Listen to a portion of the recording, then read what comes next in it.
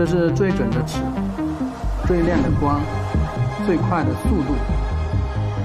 掌握了激光，我们就有无限可能。未来是属于智能驾驶的时代，而激光雷达就是智能汽车的眼睛。如何让这双眼睛看得更远、更清晰、更真实，同时也让普通消费者都买得起？这是我们一直想解决的问题。我是谢鑫，一名激光雷达行业的创业者。الليدار هو نظام ثوري لتقدير المسافات بالليزر ثلاثي الأبعاد. 想要看得更清晰，一种很简单的方法就是叠加更多激光器，不停的叠加。目前最多加到一百二十八线，但是一套这样的设备几十万，对于消费者来说太过于昂贵。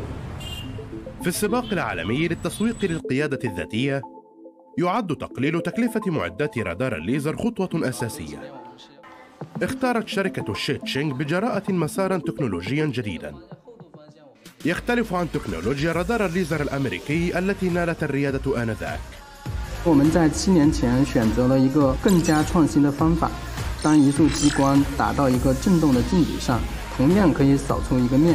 只要镜子摆动足够快，就可以实现传统的激光雷达一样的效果， 甚至更好。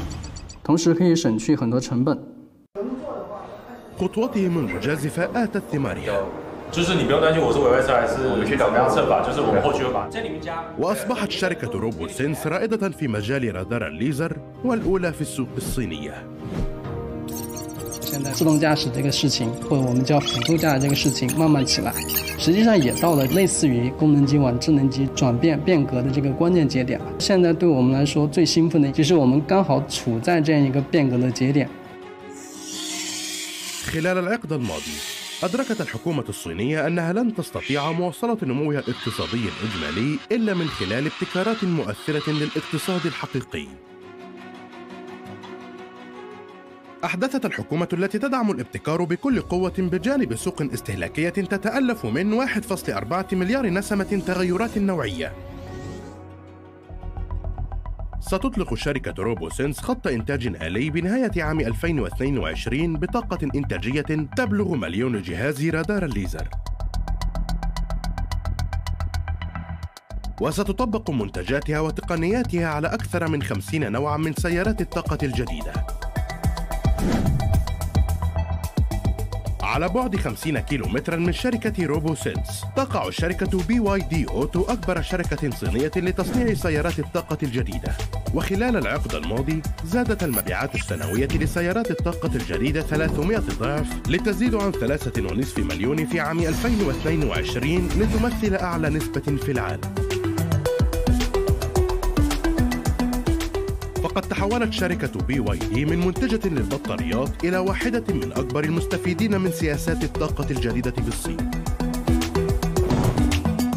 وفي الوقت نفسه تحول المظهر الخارجي لسياراتها من هذا الشكل إلى هذا الشكل.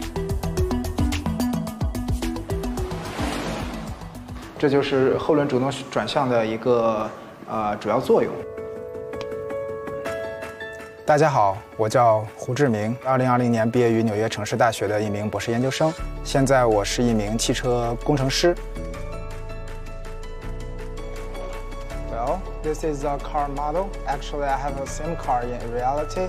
我回国，我认为从面子上来讲的话，我认为很有面子，因为我们是一个国际化公司。现在我主要从事的工作是智能底盘的研发，它是一项足以改变汽车整个发展历程的一项重大突破技术。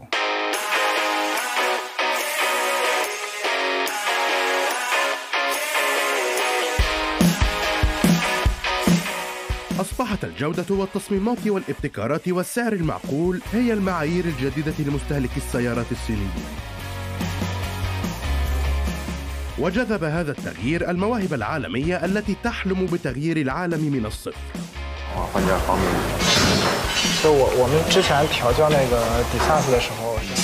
因为传统底盘它想实现无人驾驶，没办法通过电信号直接去控制各个执行机构这样一个目的。那我们通过研发智能底盘，去用电信号控制各个执行机构，它是一个基石。想要实现无人驾驶，或者说实现呃智能车，那智能底盘它是一个必不可少的一个复杂系统。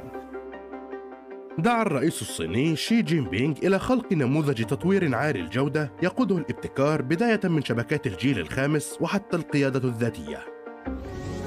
从政策层面、整个资本层面、人才层面，大家的这种愿意去尝试新的东西，愿意去做一些比较难的东西，愿意去投入一些周期比较长的事情， 其实整个的氛围都是在往这个方向转的。刚好处在这种大变革的这个时候，其实是对创业者来说是很幸福的一个事情。